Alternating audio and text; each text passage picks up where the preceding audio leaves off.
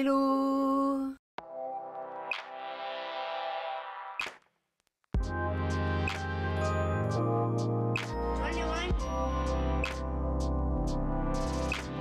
Aujourd'hui, nouvelle vidéo, face cam encore. Je suis désolée, euh, j'ai trop envie de faire des vlogs et de vous montrer un petit peu la Corée, un petit peu Séoul. Mais en ce moment il fait trop trop froid. Du coup j'avoue qu'en ce moment j'aime bien rester chez moi. Mais la semaine prochaine, promis, ça sera un vlog. Donc voilà, pour ceux qui adorent les vlogs, ça arrive. Et aujourd'hui on va parler des arnaques en Corée du Sud. Parce que oui, c'est un pays safe, c'est un pays avec beaucoup de sécurité, etc. J'en ai beaucoup parlé. Mais c'est quand même un pays où on peut retrouver certaines arnaques. Alors plus ou moins graves. Et je vais vous en parler parce que si vous habitez en Corée ou si vous projetez de venir en Corée, vous serez avertis et vous ne vous ferez pas avoir. Donc on va y aller crescendo. On va commencer par des petites arnaques et on va monter en gamme. Petite pause dans la vidéo pour vous présenter le sponsor du jour qui est Teddy Blake. Teddy Blake, c'est un site de maroquinerie en ligne qui est basé à New York. Il propose toutes sortes de sacs à main, de porte-monnaie et d'accessoires principalement en cuir. Le cuir est made in Italy, il est fabriqué en Europe et en général quand vous achetez un sac de luxe, vous payez surtout la marque et en fait cette marque Teddy Blake propose des sacs ayant la qualité des sacs de luxe mais à des prix beaucoup beaucoup plus réduits. Et jusqu'au 21 janvier, ils organisent les plus grosses soldes de l'année. Vous allez pouvoir retrouver des remises jusqu'à 70%. Donc vraiment vraiment profitez-en, c'est le moment. Je vais vous montrer moi les sacs que j'avais choisis sur leur site. J'avais pris un sac jaune comme ça que je trouve magnifique. Et comme j'ai que des sacs noirs en général, je trouve que c'était sympa d'avoir une petite touche de couleur avec une petite chaînette comme ça dorée. Et vraiment les finitions sont vraiment très très très jolies. L'intérieur est en daim. Et il m'avait aussi proposé de choisir un accessoire. Et j'avais choisi une anse comme ça. Donc c'est une anse en cuir avec des petites fleurs, c'est trop mignon. Et voilà, c'est vraiment un accessoire que je trouve très très joli. Donc si vous aussi voulez avoir un sac de bonne qualité avec des super finitions, avec un beau cuir, sans dépenser des milliers et des cents, je vous conseille d'aller faire un tour sur le site de Teddy Blake. En plus, avec les soldes, vous allez vraiment faire de bonnes affaires. Et c'est jusqu'au 21 janvier. Le lien est dans la barre d'infos. Donc première arnaque, ça va être tout ce qui va être un petit peu euh, touristique. Et du coup, les prix vont être vraiment abusés. Donc en général, quand on est touriste, qu'est-ce qu'on fait? On arrive en Corée, on connaît pas trop les quartiers, etc. Et un des premiers quartiers où on va en général, c'est Myeongdong. Myeongdong, c'est un quartier qui est très très touristique. Je pense le quartier le plus touristique. Et du coup, évidemment, les prix sont très très hauts. Tous les restaurants vont être beaucoup plus chers qu'ailleurs. Euh, les barbecues, franchement, c'est un délire. Euh, mangez pas de barbecue à Myeongdong. Mais Myeongdong, c'est très connu pour la street food. Et c'est vrai que c'est trop bien d'aller à Myeongdong pour la street food parce que c'est tout regroupé à un seul et même endroit.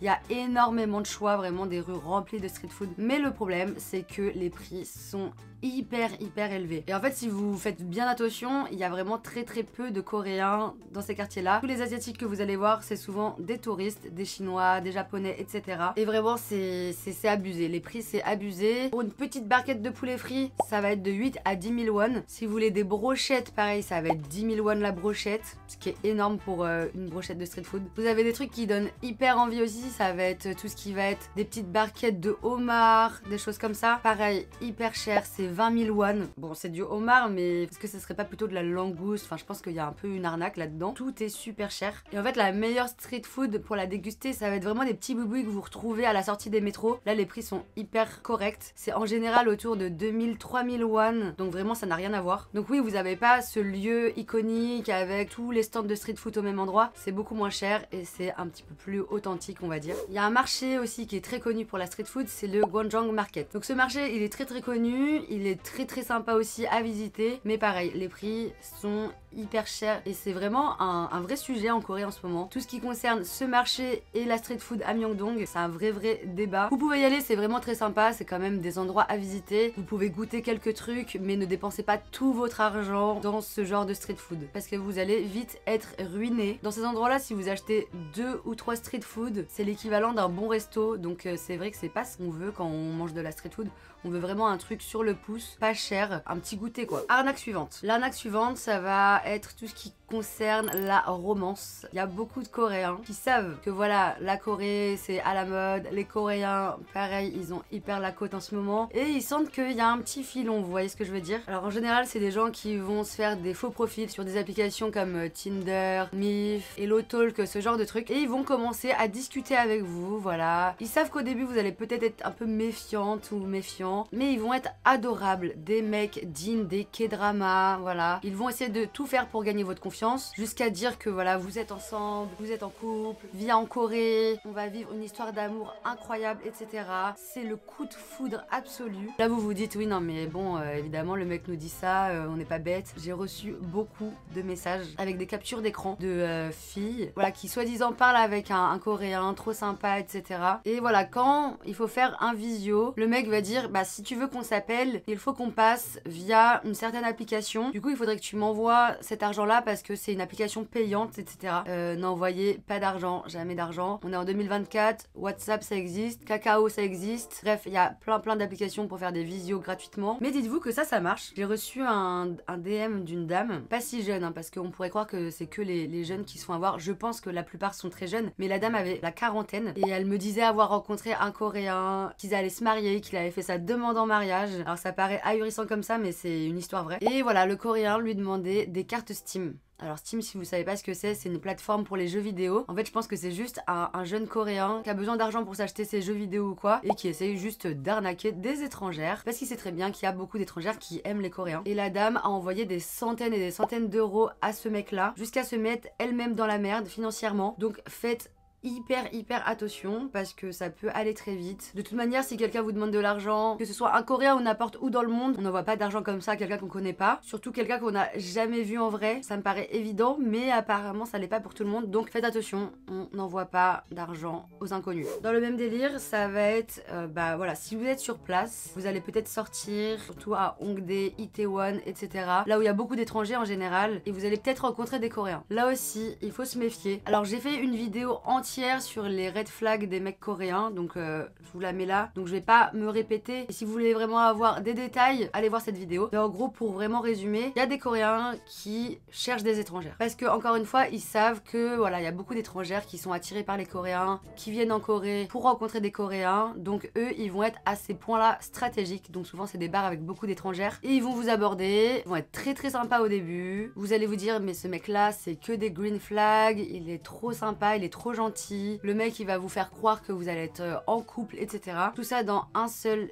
et unique but, euh, vous avoir dans son lit, tout simplement. Donc si vous, c'est votre but aussi, pas de souci, euh, faites ce que vous voulez. Mais si votre but c'est vraiment d'avoir une histoire sincère, une histoire d'amour, faites attention si vous rencontrez ces gens-là euh, dans des bars avec beaucoup d'étrangers, dans des boîtes avec beaucoup d'étrangers. Quand je parle de ça, il y a beaucoup de gens qui me disent oui, mais de toute façon, c'est n'importe où dans le monde, rencontrer son copain ou sa copine en boîte, c'est pas ouf dès le début. Oui, certes, mais en Corée, c'est vraiment un truc qui est très connu, que voilà, beaucoup de Coréens viennent dans les boîtes avec des étrangers juste pour pécho. Arnaque suivante, ça va être euh, voilà, des bars qui vont être un peu des bars bizarres. Donc au premier abord, on dirait pas du tout. Mais souvent, ça va être des bars qui vont être euh, en hauteur ou euh, en sous-sol. Après, pas tous du tout. Hein. Il y a beaucoup, beaucoup de bars en sous-sol ou au deuxième, troisième étage qui sont vraiment des bars normaux. Mais il y a certains où c'est des bars, disons, avec de la prostitution. Souvent, c'est des bars où c'est très, très sombre. Donc on voit pas trop ce qui se passe à l'intérieur. Et ça va être souvent indiqué comme bar à champagne, ce genre de truc. Après, c'est pas tous les bars à champagne qui sont des host bars ou des hostess bars. Mais en tant que touriste, ça peut arriver que vous vouliez rentrer dans un bar et ce n'est pas le bar que vous pensez. J'ai reçu aussi des messages de personnes qui m'ont envoyé on vient d'arriver en Corée, premier bar qu'on fait, host bar. Donc c'est pas aussi répandu qu'au Japon par exemple. En Corée beaucoup moins, mais ça existe quand même, sachez-le. Après normalement il vous arrivera pas grand chose, vous sortez, mais on sait jamais. Arnaque suivante, un peu dans le même délire, c'est les karaokés. Les karaokés c'est tout un pan culturel hein, de, la Corée. Karaoké en coréen ça se dit nolebang. Donc vous allez avoir plusieurs types de karaoké. Vous allez avoir les koin nolebang, donc ça en fait c'est des karaokés où vous venez là vraiment juste pour chanter une ou deux chansons jusqu'à une heure. C'est vraiment pas cher du tout en général. C'est par exemple 10 000 won maximum. Ensuite, vous allez avoir des bars qui sont un petit peu plus festifs, on va dire. Donc, euh,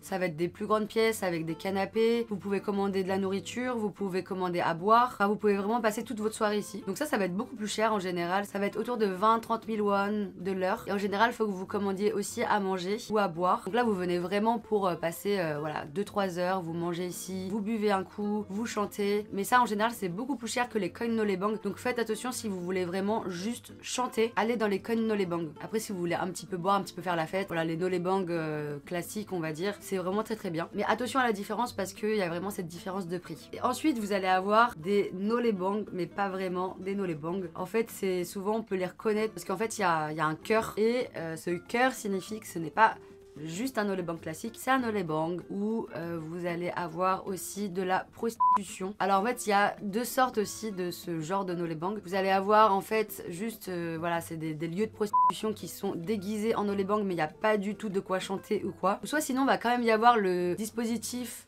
de karaoké, donc vous allez avoir les micros, l'écran, etc. Mais vous allez quand même avoir ce petit catalogue avec des, filles euh, dessus. Et voilà, vous pouvez appeler euh, des filles qui vous tiennent compagnie, si vous voyez ce que je veux dire. Et en général, ça c'est aussi beaucoup plus cher que les Nolebank classiques. C'est un petit peu dur de différencier tout ce genre de karaoké. Mais en général, quand c'est full néon, un petit peu cheap, euh, en fait, on sent un peu la vibe. Ça, en général, faut se méfier. Donc, pas tous. Il y a vraiment des karaokés normaux qui sont juste, voilà, très bling bling très kitsch. Mais en général, si vous connaissez pas trop, évitez aller dans des trucs qui paraissent euh, voilà très classiques. Donc voilà, si vous voulez un petit peu pas vous faire avoir niveau argent, faites attention si vous êtes amateur de karaoké. Pour en avoir fait plein, plein, plein, moi j'adore le karaoké. J'étais très étonnée de voir au début que les prix variaient, mais vraiment de 10 euh, 000 won à 45 euh, 000 won. Et je me demandais pourquoi. Arnaque suivante, on va parler des Jonsei. Les Jonsei, ça concerne la location d'appartements. J'en ai déjà parlé plein plein de fois de comment louer un appartement. Vous, en tant que touriste, le plus simple, c'est vraiment de passer par Airbnb ou Booking pour trouver un hôtel ou un appartement. Il faut faire attention parce que ce que vous voyez en photo, c'est rarement proche de la réalité. En général, ils prennent des photos au tout début quand ils ont rénové l'appart, quand il est nickel, propre et tout. Et euh, personnellement, j'ai toujours été un peu déçue, on va dire, quand j'ai pris un appartement via Airbnb ça m'est arrivé souvent de retrouver des cheveux, de retrouver des, des cotons-tiges sales sous le lit, enfin ce genre de choses. Voilà, la propreté, j'ai l'impression que des fois c'est un petit peu mis sous le tapis, euh, surtout en ce qui concerne euh, les Airbnb parce qu'ils savent que c'est que des touristes qui sont là de passage, donc euh, voilà. Après j'avais pris un Airbnb pour mes parents quand ils sont venus en novembre et il était nickel, il était incroyable. Mais voilà, il était un peu plus cher, mais en général quand je venais ici avant en tant que touriste, je restais plusieurs mois, donc j'essayais de trouver des trucs pas trop chers et en général ils étaient pas nickel. Ça, c'est vrai que vous pouvez pas trop le savoir à l'avance, mais lisez les commentaires, c'est hyper important. Et le mieux, si vous avez le budget, c'est de prendre un hôtel parce que vous savez que ça va être nickel. Mais en ce qui concerne, euh, voilà, la location d'appartement, il y a plusieurs façons de louer un appartement. Et en général, vous devez déposer une grosse caution. Et en général, plus votre caution va être grande et moins vous allez payer cher la location au mois. Et il y a un autre système qui s'appelle le Jonsei. Ça veut dire qu'en fait, vous allez verser une énorme caution, une très très grosse caution. Ça peut être de 50 à 90% du prix d'achat de l'appartement. Donc euh, je vais vraiment dire un chiffre au hasard. Si l'appartement coûte à l'achat 200 000 euros, on va pouvoir peut-être vous proposer de payer par exemple 80% euh, du prix d'achat. Donc voilà, si c'est 200 000 euros, ça va être 160 000 euros. Vous donnez cet équivalent en caution. Donc c'est vraiment une caution. Vous allez pouvoir récupérer cette caution à la fin quand vous allez quitter l'appartement. Donc pourquoi en fait? C'est parce que ça va permettre aux propriétaires de réinvestir cet argent dans un autre business de réinjecter cet argent pour acheter un autre appartement. Donc vous en général, vous allez faire un prêt à la banque. Tous les mois, vous remboursez votre prêt, mais vous avez très très peu de loyer à payer. Donc soit vous avez pas du tout de loyer à payer, c'est-à-dire que tous les mois vous ne payez rien ou peut-être les charges, ou sinon ça va être très peu cher, genre 100 000 won. En général, vous êtes obligé de rester deux ans minimum dans cet appartement. Ce qui va vraiment vous coûter tous les mois, ça va être de rembourser ce prêt. Sauf qu'en fait, pour vous, c'est vraiment bien parce que vous remboursez certes le prêt, mais à la fin, au bout des deux ans, quand vous quittez l'appartement, vous retrouvez 100% de votre caution, sachant que vous n'avez pas payé de loyer ou quasiment pas payé de loyer pendant deux ans. Donc en vrai, c'est bénéf pour le locataire et le propriétaire. Sauf que il y en a qui ont senti ce filon, évidemment. Et du coup, il y a des Coréens qui proposent ces méthodes-là. Et en fait, une fois qu'ils ont cet argent, ils se cassent. Donc vous, vous avez ce prêt énorme à rembourser à la banque. Et au bout des deux ans, vous voulez revoir votre argent et il n'y a plus du tout de nouvelles du propriétaire. Donc ça c'est une arnaque qui est euh, très très connue et courante en Corée et c'est pour ça qu'il y a beaucoup moins de gens qui veulent passer par cette méthode là. Et pour illustrer un petit peu tout ça, je vais vous raconter l'histoire de Monsieur Han. Donc ça se passe en 2020 et Monsieur Han trouve un appartement dans un petit immeuble neuf de Chemulpo. Il a signé son premier bail pour un montant de 72 millions de won, donc ça fait à peu près 50 000 euros. Et ensuite il a décidé de renouveler son contrat pour 72 millions d'euros, donc encore 50 000 euros. Donc là, on est à peu près à 100 000 euros d'investi. Monsieur Han, en fait, il n'a pas voulu faire de prêt. Il a mis toutes ses économies là-dedans. Et quelques temps après, le tribunal l'a appelé pour lui dire que tout l'immeuble avait été saisi parce que le propriétaire avait énormément de dettes et que du coup, bah voilà, il devait se séparer de ses biens. Le propriétaire avait déjà utilisé cet argent, il avait investi dans des trucs qui se sont sûrement cassés la gueule et du coup, aucun remboursement n'était possible. Donc il a juste perdu 100 000 euros et aussi son appartement. Du coup, il s'est retrouvé à la rue sans argent. Donc soit, voilà, c'est le propriétaire qui est endetté et du coup, on procède à la saisie des biens ou sinon, c'est carrément le propriétaire qui disparaît. Voilà, il n'y a plus de nouvelles et là, pareil, vous n'êtes pas remboursé. Arnaque suivante, c'est un petit peu dans le même délire. Faut savoir que euh, la crypto ou tout ce qui est en rapport avec les investissements dans les stocks, etc., c'est hyper, hyper euh, populaire. La plupart des Coréens que je connais ont déjà investi dans la crypto-monnaie ou dans des stocks. C'est hyper courant ici. Il y a beaucoup d'entreprises qui se spécialise dans la gestion de vos investissements, etc. Donc vous pouvez confier votre argent à des entreprises qui vont investir pour vous. Évidemment, bah voilà, il y a des entreprises qui sont des gigascams, des grosses arnaques, qui vont prendre votre argent et qui vont juste bah, disparaître. Au bout de quelques mois, vous vous rendez compte que l'entreprise n'existe plus. C'est juste qu'ils se sont tirés avec votre argent et sûrement euh, l'argent de plein d'autres personnes. Et ces entreprises, elles vont même jusqu'à créer des fausses entreprises parce que évidemment vous, voulez voir un petit peu euh, ils investissent, dans quoi, vous voulez un petit peu savoir où est votre argent. Et en fait, bah voilà, ils investissent pas du tout. Donc ce qu'ils vont faire, c'est qu'ils vont créer d'autres compagnies. Ils vont faire genre, ah bah voilà, vous voyez, on a investi dans telle, telle, telle compagnie. Ils vont vous montrer les preuves et vous vous dites, bon, ça va, mon argent, il est placé. Sauf qu'en fait, non, parce que ces entreprises leur appartiennent, c'est eux qui l'ont créé quelques mois après ou quelques années après. Hop, hop, hop, plus de nouvelles d'aucune compagnie et votre argent a disparu. Arnaque suivante, ça va être les voice cam. Ça va être des gens qui vont vous appeler au téléphone et qui vont se faire passer pour un proche à vous. En général, ça, ça marche beaucoup sur les personnes âgées. Donc c'est souvent les personnes âgées qui sont victimes de ce genre d'arnaque. Ces personnes âgées vont recevoir un appel et on va leur dire au bout du fil Oui, euh, c'est ta petite fille j'ai un gros problème, j'ai été kidnappée, j'ai besoin de tant d'argent euh, pour une rançon. Bon, ça c'est un truc, c'est hyper gros, mais ça marche en vrai. Si ça peut être un petit peu plus subtil, par exemple. Je me suis mis dans une salle à faire, euh, j'ai besoin de prendre un avocat, est-ce que tu peux m'envoyer de l'argent? C'est vraiment vraiment urgent, ça me sauverait la vie, etc. S'il te plaît. Et en général, bah ça fait paniquer la, la personne euh, au bout du fil qui envoie l'argent, voilà, sur un compte en banque. Sauf qu'en fait, au bout du fil, c'est pas du tout votre petite fille ou que sais-je, ou un proche à vous, ça va être un Et ça, c'est hyper courant et ça marche. Donc voilà, c'est assez bien fait. Quand je le dis comme ça, on dirait que c'est hyper gros et euh, les personnes se renseignent énormément sur euh, la vie de la personne, sur l'entourage, etc. pour mener au mieux cette arnaque. Arnaque suivante, ça va être euh, voilà les arnaques par rapport aux étrangers. Alors ça, je vais vous raconter l'histoire d'une amie. En fait, cette amie, elle, elle rentrait de soirée et elle avait un peu bu. Elle attendait sur la route et en fait, il y a un taxi qui passe et à ce moment-là, elle tombe. Juste, bon, elle, elle, se casse la gueule quoi. Elle n'a pas du tout touché le taxi, elle l'a même pas effleuré. Et en fait, le chauffeur sort et en fait, sa carrosserie était déjà abîmée, mais d'avant. Et en fait, euh, il a commencé à crier sur ma copine, à lui dire euh, Oui, vous voyez ce que vous avez fait à mon taxi, c'est vous qui l'avez abîmé, vous allez payer les frais de réparation. Et en fait, mon amie ne l'avait même pas touché le taxi. De toute façon, même si elle était tombée dessus, elle est pas assez lourde pour carrément défoncer la carrosserie. En fait, voilà, il l'a il l'a menacé, il a appelé la police, etc. C'est un truc qu'il a suivi pendant des mois et qui l'a vraiment trauma. Et en fait, heureusement, elle avait un copain coréen qui a pris un petit peu euh, les choses en main. Il a demandé à voir les CCTV. Enfin bref, ça s'est bien fini. Mais le chauffeur l'a harcelé pendant des mois et des mois. Et en fait, ça c'est juste parce que c'est une étrangère. Il a vu que c'était une étrangère. Il avait sa carrosserie à réparer. Il s'est dit super, je vais pouvoir l'arnaquer et lui faire payer. Parce qu'en général, il faut savoir que si vous êtes étranger ou étrangère et que vous avez un quelconque problème avec un coréen ou une coréenne, la police donnera toujours raison au coréen ou à la coréenne. Juste vous êtes étranger, vous avez tort. Et là, c'est exactement ce qui s'est passé. C'est que le chauffeur s'est dit je vais lui faire porter le chapeau, elle va prendre peur, elle parle sûrement pas coréen, elle va pas pouvoir parler avec la police ou quoi, elle va juste payer pour avoir la paix. Et je crois qu'il lui réclamait quelque chose comme 500-600 euros. Donc faites attention, il peut y avoir ce genre de choses, euh, des coréens qui essayent de vous arnaquer parce que vous êtes étranger ou étrangère. Et on passe à la dernière arnaque, ça c'est un truc qu'on entend beaucoup, c'est qu'il y a beaucoup de caméras dans les toilettes, dans les Airbnb, dans les motels, dans les hôtels, etc. Alors euh, j'ai vu beaucoup de témoignages effectivement